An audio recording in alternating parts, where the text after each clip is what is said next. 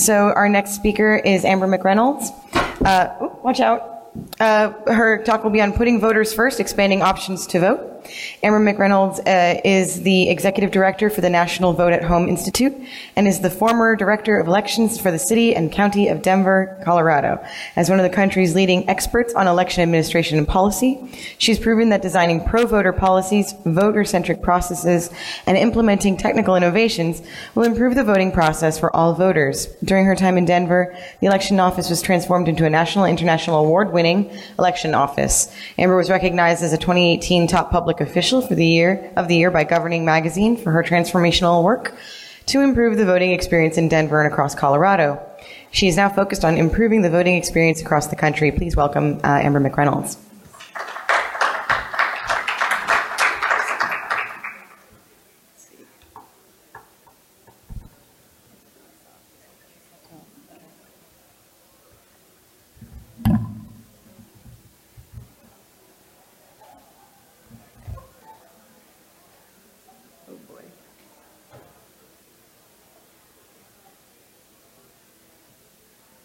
Okay. Um, well, it's great to be here again. I, I was on the panel a couple uh, hour or so ago. Um, so great to be here again. Um, I'm going to talk a little bit about sort of this concept of putting voters first, how that ties into policy, um, and then hopefully we'll have some time for questions at the very end. But about halfway through, I'm going to also have another expert come up and talk about auditing um, because that's been a topic that we haven't uh, heard a lot about while while we've been here at DEF CON so far. Um, so, so first off, um, 2018, and, and, these are all pictures that happened in 2018 in 15 to 20 different states. But what you see up here is you see long lines, uh, significant administration problems, machine breakdowns, all of these things. A lot of these, and you can see the paper ballots there, so there's been a lot of talk of this. A lot of the states that had paper ballots still had other problems. Long lines because of registration problems, long lines because, say, in Missouri, you can only vote on election day. There's no early voting in Missouri, and you can't get an absentee ballot unless you can get a notarized document from your employer or a doctor's note from your uh, healthcare provider. But a lot of these lines and all of this has been happening. These are the same headlines, same photos that we see year after year in the election process. Um, and I like to show this image because in my mind, a lot of this is because we've, you know, there's basically been games played from a policy perspective because there's been this intensive focus on who wins instead of who votes. Um, so a lot of that has created a lot of these problems. So because voters have not been a priority, and I bring that up in the context of cybersecurity and how we talk about new and emerging voting systems we have got to put the customer and the voter first in this process because they've never before been first. I promise you, they never have. And because of that, things like HAVA. So HAVA was the Help America Vote Act. That was in response to Florida 2000 and the butterfly ballots. Congress allocated hundreds of millions of dollars to states and said, build technology as fast as you can. And that's why we're in the position we are today with outdated systems and systems that don't function well but it's a good example of policy making being reactive, immediately reactive to a problem without actually solving the reasons that voters had failures in their system. Government assigned locations. So this, this outdated notion that we have to assign voters on a specific day to a specific location to vote has been kind of proven to also create issues. So you, know, you think about that. Most people now are work farther away from where their home is. So if you need to try to get back to where you live and you've got an hour commute, it's going to be very difficult to get there by 7 o'clock. Limited options for voting, confusing deadlines. Almost every state in the country has different deadlines for voter registration, absentee ballots, mail ballot applications, all of that. It's very confusing to navigate as a voter. Uh, ineffective systems and then sequence problem. And I'll, I'll show a slide here in a minute to talk about that sequence problem. Um, so this is kind of the, the coin phrase. I mentioned this earlier, but until we get election policymakers and election administrators and frankly everyone focusing on the who votes and not who wins in this process, we're not going to see effective change in technology in the process itself. We're not going to see those lines go down. We're not going to see any of that.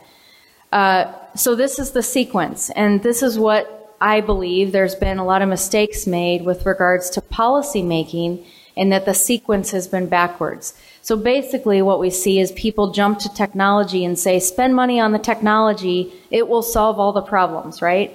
And as many of you are technologists in the room, you know that the way the process is and documenting that and developing requirements around that and figuring that out first is really key to making sure that the technology works. Uh, it's garbage in, garbage out kind of thing, right?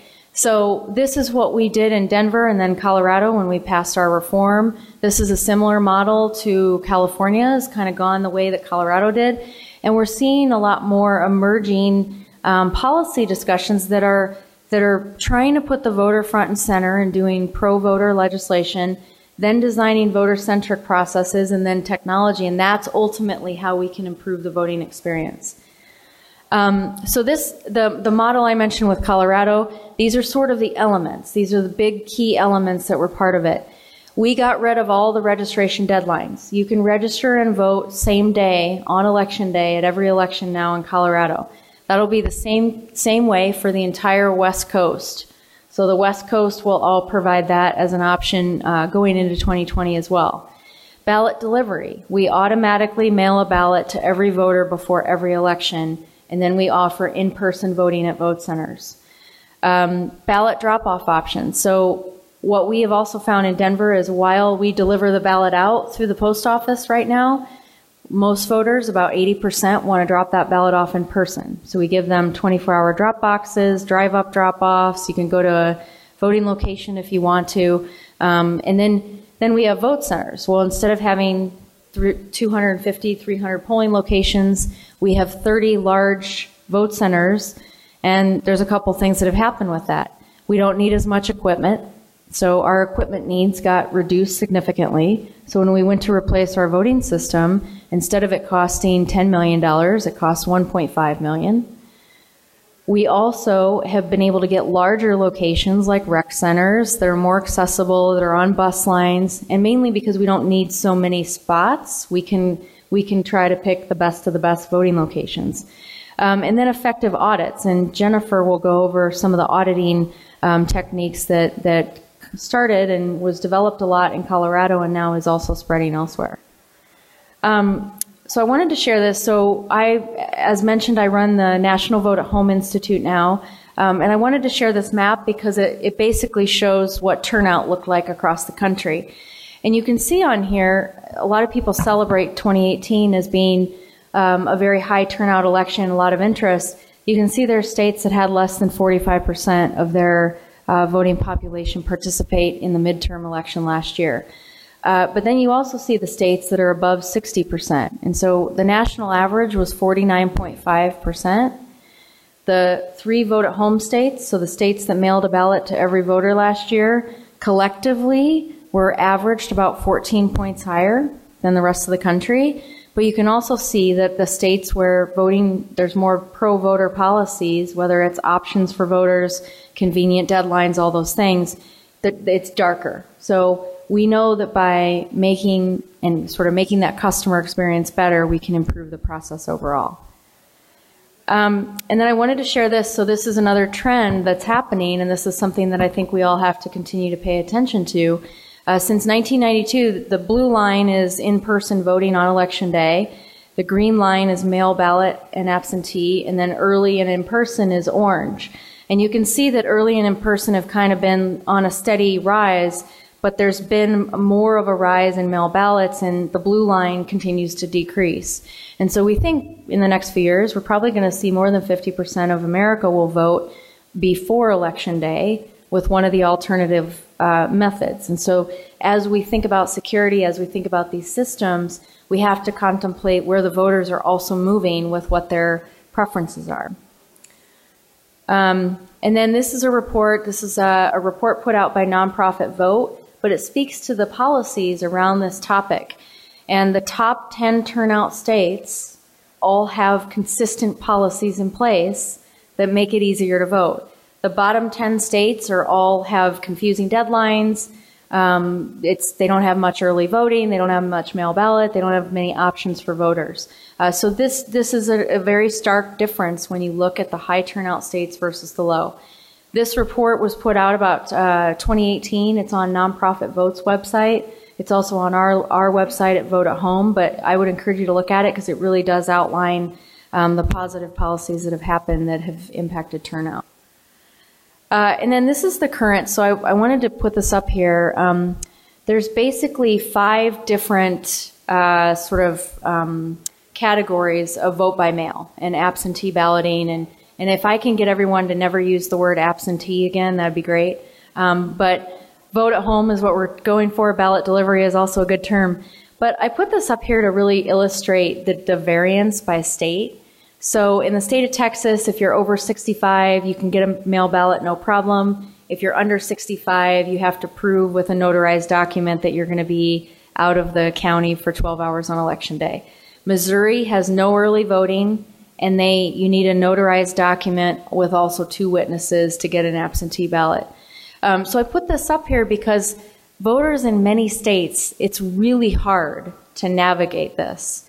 And this is the kind of policy discussion that we really need to have to kind of reshape the conversation and put voters first. Um, but it also illustrates the variances in terms of options that are available to voters. And I can tell you, it is much easier if you're, you know, if you're an Oregon voter or Washington or now Utah, and we're autom- you're automatically going to receive your ballot in the mail. You think about their experience versus somebody in Missouri that's waiting in line for two hours because they didn't have another option other than election day. Very, very different experiences. Um, so, as I always say, change is the biggest barrier. Uh, almost every legislator I talk to about these reforms or about reforming their systems, one of the second things they often say to me is, Would I have won if this were in place? Um, so, change is the biggest barrier because we're dealing with policymakers that have a personal vested interest in the outcome. And that goes back to that who votes, not who wins uh, consideration, um, but it's possible. And this is the final slide. And I'm going to have Jennifer come up. Um, these are the these are kind of the six things that I think are really important to have in the conversation. Continuously improve. Never be okay. That's kind of how election systems got the way they are. Is sort of there started to be this stagnation around what was acceptable. Uh, empower voters with options and choice pro voter policies, uh, implement voter centric processes, design effective technology uh, across the board, all things, and then validate the results. And the validate the results part is where Jennifer is going to do her thing with audits. So come on up.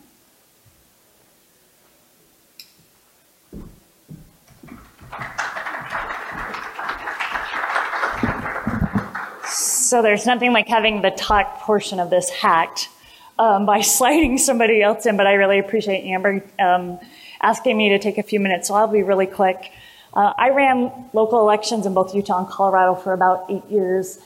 And a year ago, I had the opportunity to uh, start something called the Election Validation Project with support from the Democracy Fund. And the whole focus of the project was thinking about ways that we can increase trust in our elections by creating standards around audits and testing. And I want to tell you one quick little anecdote. The thing that I loved best about running local elections is after every single election, I got to do kind of what we're doing here. I could sit down with my team and we could start to pull apart everything. We looked at phone calls, complaints, things that were posted on social media. We pulled data, uh, all sorts of analytics to really pull the election apart and try to figure out what went well, what went wrong, where were the problems, where were the areas for improvement. And when we started to implement risk limiting audits in Colorado, that's exactly how we learned how to do it by first pulling our processes apart, working through the audit process, and coming up with something um, that's ended up being, uh, for that particular sampling method, more or less a national standard. So I just want to leave you with two quick thoughts. One, we are pushing for a culture of being audit centric. Um, and that's happening, and it's really, really exciting. Uh, when I started this a year ago, only a handful of states were thinking about this. Now we have almost 20 states um, in in various uh, places along the spectrum thinking about how to better audit their elections. And so you heard earlier today specifically about risk limiting audits, and that's been a big focus of my work for the last year. But I want us to think beyond that. So as you're thinking about the vulnerabilities and you're thinking about the thing areas of concern also help me think about are there other opportunities throughout the election system where we can stop and pause and think about a way to better test pre-election or audit post-election uh, to validate that the election was done um, in a manner that was open and transparent and trustworthy and all of the things we, we are aiming for in, in conducting good elections. So why do we audit elections? we can detect voting system errors. And, you know, I've listed hacking and misconfiguration, and I'm so glad that there are experts here who are focused on this. My experience is that most of those errors usually happen because of human beings. Um, it provides a way for us to give accountability to our voters. So it gives us something tangible that we can show our voters. It helps us deter fraudulent activity, helps us assure the votes were counted and reported accurately. And most importantly, just like I mentioned, it provides feedback for process improvement. And that's really where we'll see some significant changes in the way that we run elections. And that is why when Amber talks about the model in Colorado and the model that she um, helped to begin and wrote and crafted and, and really modeled for all of us, uh, that model, because it freed up resources, it freed up time, things ran so smoothly, we had a lot more time to think about process improvement um, and, and the way that we were serving our voters. So how do we do that? Two quick things. We need to educate, and that's difficult because we're taking something very complex. And so uh, there's some guides that I've published. You can see the link up there to the website. But thinking about the things that are complex, whether it's a statistical formula or um, some some pretty heavy academic white papers and putting that into something that's digestible for local election officials, for policymakers, um, and and others who are interested in helping in this space and understanding how RLAs work. Um, I actually started this a year ago with bullet points about uh, the different sampling methods, and I just gave a presentation last week or this week. I don't even know what week it is um, to uh, state legislators in Tennessee this slide with one picture and one word is so far the most effective thing that I've been able to use to communicate how um, this particular type of sampling method works. So, so we're still a long ways in taking these these complex issues and ideas and and and bringing them down to their essence and really helping just the layperson understand how it works. And it's important that they understand how audits work. Because if they don't, they're not going to get behind it and they're not going to support it, uh, both policy wise and with the resources that we need to do that. Um, but the best way, and again, I feel like this is a takeaway for me from, from coming to this conference, is to just have people roll up their sleeves and give it a try. And so the most effective thing right now that we can do is go around state to state. These are some pictures of some of the audits I've helped with and uh, just walk and talk through the process. Very beneficial. Something to think about. Um, RLAs um, need software if we're going to audit on a statewide level, and so that's another vulnerability, right? We're introducing uh, a, another um, element of, of computing and things like that. That's going to be the case with any type of audit that we do. So I'll leave you with my list. Um, we don't want to just audit the vote tallying system um, and how ballots were counted. That's super important. That's why I've put most of my work and time and effort over the last year into that. But you can see the list up here. There are other things that we need to be thinking about if we want to uh, validate the election as a whole. And what I'm finding is that most of those, let's take the top one, for instance, voter registration database audits. If we want to do that, we want to do that on a statewide level we're going to need software to assist us to do that. And so um, engaging with this group is fantastic because um, having that software open and accessible and able for people to vet and test and um, sort of validate, I guess, will be really important to this work moving forward. So um, thanks again, Amber, for giving me the opportunity to stand up here for a minute and evangelize about uh, audits.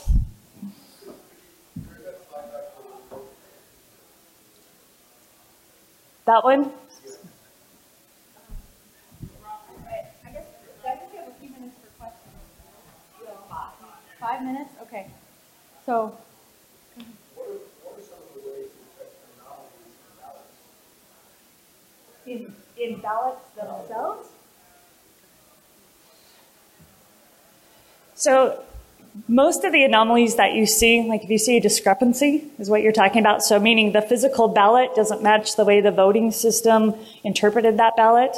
Most of those are hand marked paper ballots, and it's a voter intent issue, right? So you might have had that ballot adjudicated by a team, uh, maybe a marginal mark, and uh, they discerned it one way, and the voting system may have interpreted, or, or, the audit team may have interpreted a different way. Does that make sense? Um, we still don't have a lot. Um, we don't have a statewide example, really, of an entire state with uh, ballots that have been cast on a ballot marking device. So there's no voter intent issues there. There's nothing. We don't have to worry about the density of the mark. Um, so, you know, obviously, most of the pilots we've done around those, there have been no discrepancies. Uh, the way the voting system interpreted the ballot matches what we see printed on the ballots. So um, there is there was one case. I'll I'll give you an example. I'm trying to think of one example where something went wrong is we. Uh, had like a smudge or a bend in a, a timing mark or something on on that uh, summary ballot, and we weren't able. The system wasn't able to read that. So, any other questions? For her. Anything? Okay. Well, um, thank you all for coming to the session, and hopefully it was helpful.